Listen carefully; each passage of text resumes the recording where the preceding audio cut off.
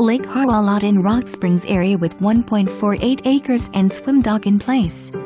Verbal approval from Corporation of Engineers required for larger dock or to move dock to different location. Only 8 miles to exit 177, I-85. Perfect for weekend home or full-time. Property lines are flagged with hot pink ribbon.